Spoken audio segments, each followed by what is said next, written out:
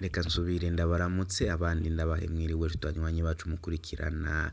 Amakuru n'ibiganiro mugezwaho nange bunyoni umugenzi. Hano kwimbonesha kure yanje ndetse ari na yo yanyu imbonesha kure imwe rudende bashikiriza vyinshi cane cane bikuyemo ivyo amatwi yanyu atigeze yumva.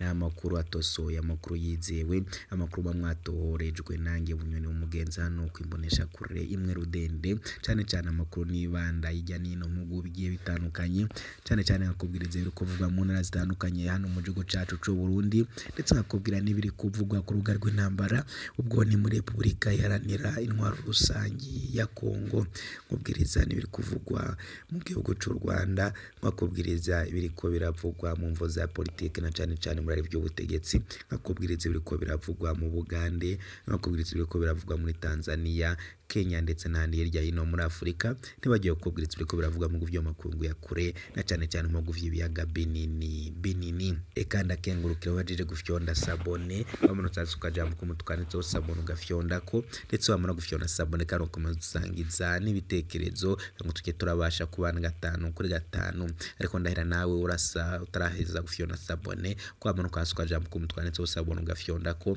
ndetse wamara gufyonda sabone kandi nawe ukibuka kudusangiza n'ibitekerezo kugira ngo tujye turabasha kubana gatanu kuri gatanu. Ni amakuru nyene urajya ugezweho nanjye bunyoni umugenzi cyane cyane nk'ubwiriza bikuvugwa mu makomine atandukanye mu gihugu cacu c'u Burundi mu ngingo nkuru nkuru amakuru anyina gutegura ari buze kwibandaho. Turanyura turi mu gihugu c'abaturanyi muri Nakivari mu gihugu ca Buganda. Nkubwire ko impunzi zaraguye mu bitaro kubera icika ry'amatara.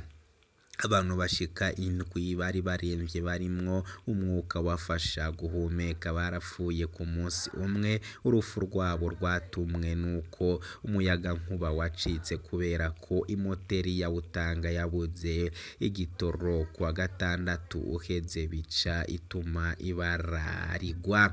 Murumva ariko nyene vyabaye akaroro hano mu nkambi y'impunzi ya Nakivale aho bari bari mu gakondoro ibitaro vya Nyaruguru herifuse seta IV biri muri zone bita bose kampu vyarapfiriyemwo abantu ku buryo butari bwitezwe kandi budasobanutse nk'uko bivugwa n'impunzi hariya mu gihugu c'Ubuganda haracitse amatara umwanya munini munini bica bituma hagira abapfa aho bakirira indembe.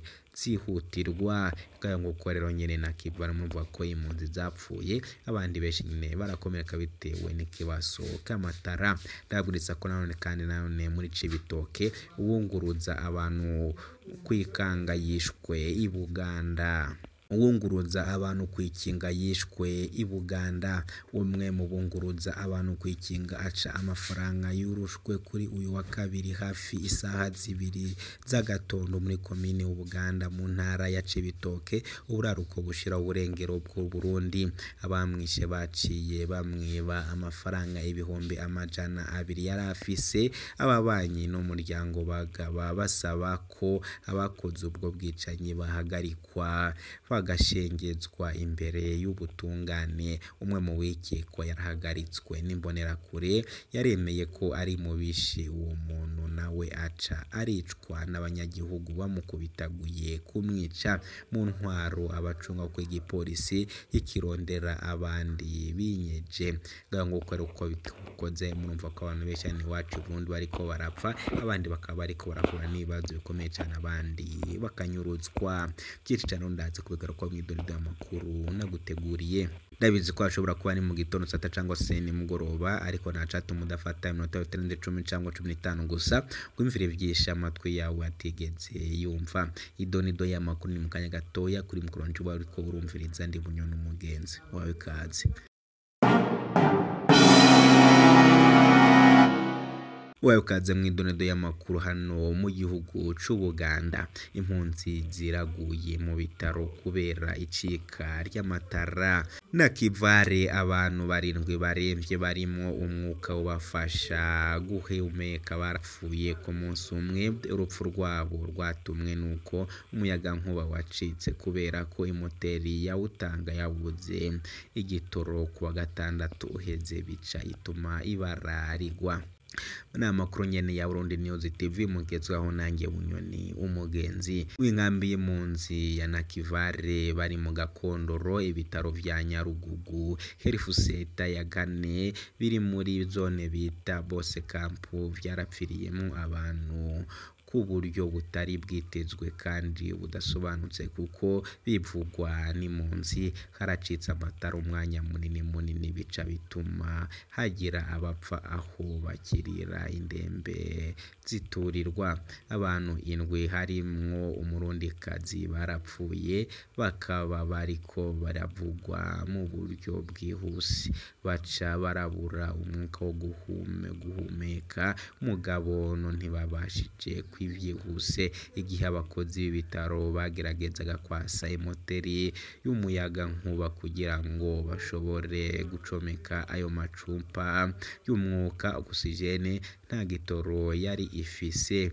Nk'uko bivugwa n'abakorerabushake bo mu gisata c'ubuvuzi icavyunyuye ni umukozi wo kuri sitasiyo iri kure gato y'inkambi. Ntiyari bugufi ngo atange igitoro nk'uko babivuga.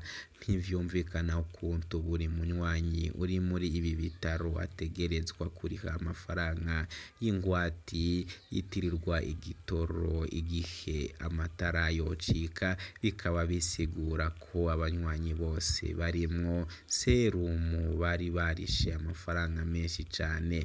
None ayo mafaranga yogiye he? Niko babaza n'agashavu kenshi cane. Basaba ko hoba amatohoza yigenga kugira ngo hamenyekane. Abivye amafaranga y'igitoro kugeza aho hapfa abantu. Ni cane cane ubu tutabona ukuntu basaba impunzi zitagira amikoro kuriha amafaranga bikavuga bashavuye mu mwaka uheze. Ibintu nk'ivyo vyari vyashitse bituma hapfa impunzi y'umurundi. Ibiro vy'umushikiranganji wa mbere bisanzwe biraba ivy'impunzi. Bari barahiriye bararengwa ko ivyo bitasubira ubu rero ishavu impunzi zifise riragoye gucuresha nk'uko abariyo babivuga. Nakivale ubu irimwo abantu barenga ijana rimwe ibihumbi ijana rimwe na mirongo ine muri abo abarundi n'ibihumbi mirongo itatu na bitatu. Ngaya nk'uko rero nyine uko vyifashe muri Nakivale mu gihugu c'Ubuganda. Ni mu gakane nanone c'ibitoke wunguruza abantu kwikinga yishwe i Buganda nanone umwe mu bunguruza abantu w'ikinga ca amafaranga. Yarishwe kuri uyu wa kabiri hafi isaha zibiri zibiri z'agatondo muri komine Buganda mu ntara ya Cibitoke uburaruko bushira uburengero bw'u Burundi. Abamwishe baciye bamwe b'amafaranga ibihumbi amajana abiri yari afise ababanyi n'umuryango basaba ko abakoze ubwo bwicanyi buhagarikwa bagashengezwa imbere y'ubutungane. Umwe mu bikekwa yarahagaritswe imbonerakure yemeye ko ari mu bishe uwo muntu. Nawe aca aricwa n'abanyagihugu bamukubitaguye kumwica. Mu ntwaro bacunga igipolisi kikirondera abandi binyegeje. Ikiziga c'uwo aca amafaranga yunguruje abantu nshinga catowe n'abarimye mu gitondo c'uyu wa kabiri hiboneka ko yoba yaranigwe mw'ibarabara rya gatanu ku mutumba wa Kaburatwa komine Buganda intara ya Cibitoke. Abarimyi baciye banyaruka gutabaza intwaro n'inzego z'umutekano.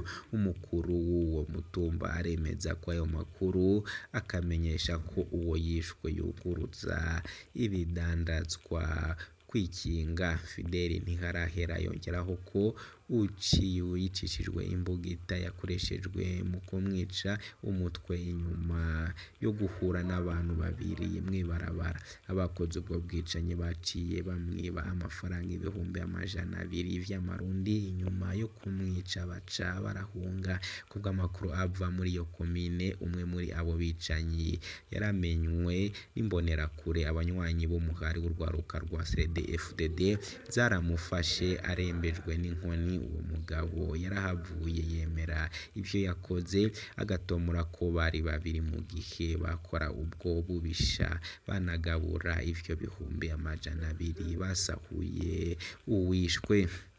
Abanyagihugu baciye bakubita banatera amabuye uwo muntu gushika arapfa. Ababibonye bemeza ko imbere y'ubwo bwicanyi iyo nkozi y'ikibi yishwe yari yabonetse. Ari kumwe n'abandi bantu bari kumwe n'uwunguruza abantu.